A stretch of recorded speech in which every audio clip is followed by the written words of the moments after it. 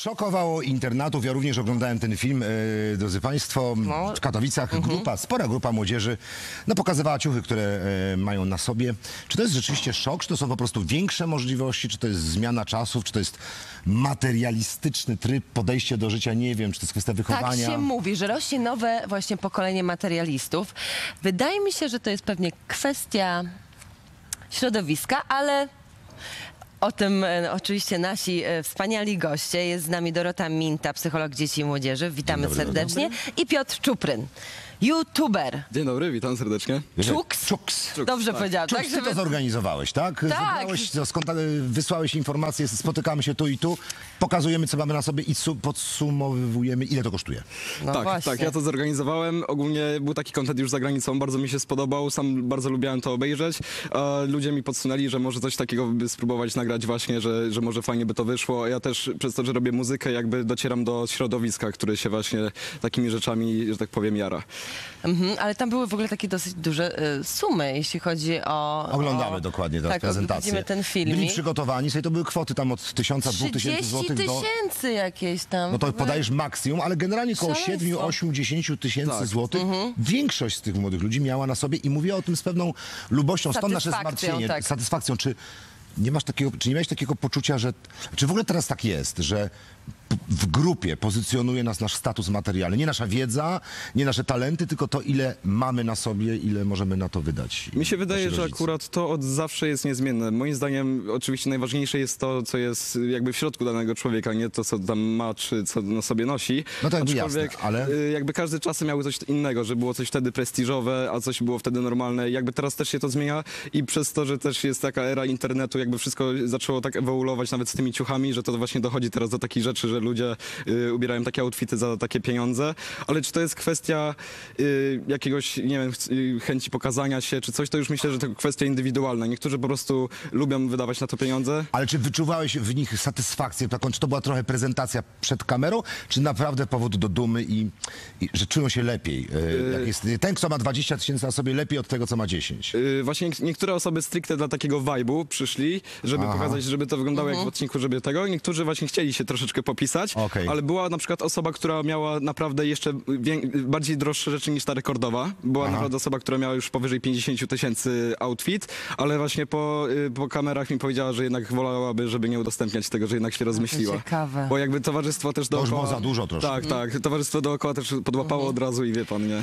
Pani Doroto, y, jestem ciekawa, co pani o tym myśli, o tym w ogóle, ale też tutaj kwestia e, rodziców na pewno A też- odgrywa wielką rolę. Czy to nie jest tak, że na przykład może to pokolenie roz, rozpuszczane przez rodziców? No bo skąd tacy młodzi ludzie mają pieniędzy? Aż tyle.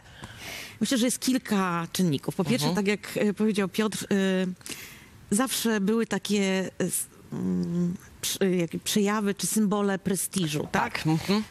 Ja pamiętam, że wranglery z Peweksu w czasach mojego liceum, które były warte pensji nauczyciela, były równie, myślę, jak najbardziej abstrakcyjnie drogie.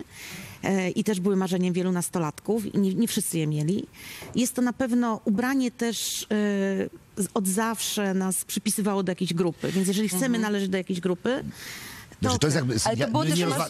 Ida nie pyta o tych, e, o tych młodych ludzi, bo to jest jakby, Tylko- to jest zrozumiałe, też tak mieliśmy w innej skali. Tam, że braliśmy Chodzi o to, rodziców. który rodzic, czy to, czy to jest normalne, ubiera swoje dziecko, nawet mając pieniądze, w kilkadziesiąt tysięcy trzeba by złotych. zobaczyć, ile na sobie ma mama takiego chłopaka czy dziewczyny, który miał ciuchy bym- za 50. Ja bym tak właśnie troszeczkę stanął w obronie tych ludzi, bo... Nie y, A atakujemy, właśnie chciałam- zastanawiamy Nie, nie, się. my tylko wiesz, tutaj Ja dyskusję myślę, mam że to jest otwartą. tak, że Aha.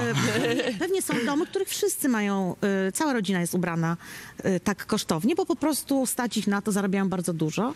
Ale znam też ludzi, którzy są bardzo zasobni i nie lubią, żeby ich ubrania były tak ostentacyjnie drogie. Bardziej myślą o tym, żeby to było solidnej jakości. Może wolą na przykład czasami coś tak samo kosztownego, a bez e, logotypów.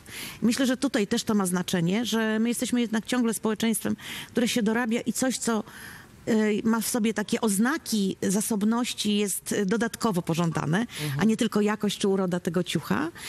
Y, Myślę, że to jest też tak, że jednak większość nastolatków, którzy tam występowali, y, mają te, te rzeczy kupione przez rodziców. I mm, myśl, trzeba się zastanowić, tak, jakie wartości dzieciom sprzedajemy. Czy y, na przykład warto rozmawiać z dzieciakiem i mówić, słuchaj, no może nie kurtka za 30 tysięcy, ja żartuję oczywiście, symbolicznie, ale zacznijmy odkładać każdego miesiąca, siądźmy, zacznijmy odkładać na twoje studia. Podałaś, podałaś, miesiąca, podałaś tak? skrajny przykład 30 tysięcy.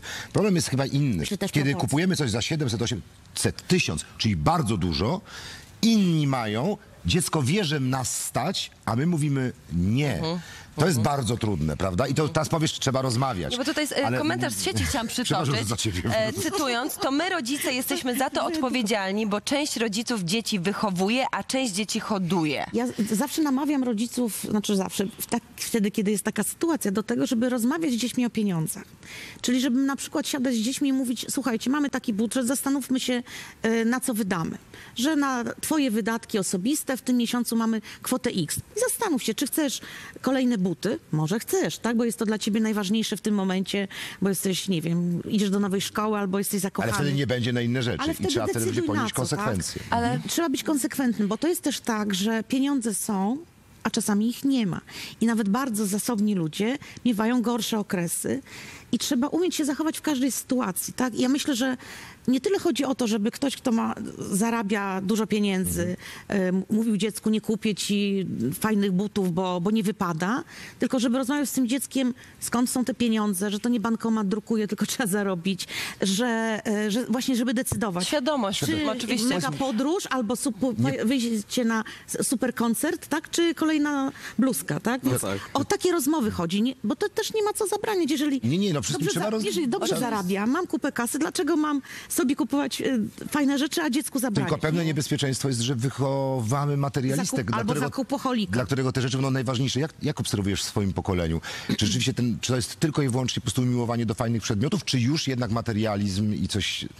Tak szczerze. Do czego przywiązujemy tak zbyt szczerze. Szczerze, ja naprawdę, mi się wydaje, że to jest różnie bardzo, że niektórzy to naprawdę totalnie nie, a niektórzy nawet bardzo tak. Jakby chciałbym też Tak jak trochę zawsze. obronić jakby tych ludzi niektórych, bo to nie jest tak, że wszyscy jakby dostają od rodziców, bo zgodzę się, że na pewno duża większość tak, no bo jednak te osoby są niepełnoletnie i jednak, no tak, tak to może wyglądać. pracują jeszcze. Ale też są osoby, które po prostu w młodym wieku jakoś rozkminiły sobie sposób na zarabianie po prostu pieniążków tam w różny sposób, bo przez to, że teraz jakby się to rozwinęło, wszystkie social media, interne- internet, jakby jest dużo możliwości, żeby sobie zarabiać i jakby młode osoby, które mają łeb na karku, po prostu jakoś pozbierani są i chcą tutaj coś działać, to są w stanie sobie zarobić tam jakieś Albo, pieniążki, albo nie? bardzo często rodzice, którzy sami też są dobrzy, sprawni zawodowo, biznesowo, też uczą te dzieci zarabiać pieniądze. I to jest też fajne, tak, nie? tak, I to jest bardzo tak, w porządku. Tak, tak. Ale czy są materialistami ci ludzie, to naprawdę, to mi się zależy, że to zależy od człowieka, nie? Chodzi o kwestię skali, wiesz? Ale- Chodzi tylko i wyłącznie o to, czy to, kim jesteśmy, co robimy, czy osiągamy wyniki sportowe, to nas pozycjonuje, tak zdobywamy, nie wiem, ym, poklask i, i wiesz, i szacunek. Się wydaje, czy to, jak rzeczy. jesteśmy ubrani, nie? Mi To się jest tak też wydaje, że w tych czasach m, y, jakby jest tak troszeczkę przez to, że jakby mamy dostęp właśnie, Konsumpcyjny mogę świat coś troszkę. y, dodać, nie, mogę to udostępnić. Zobacz, no to,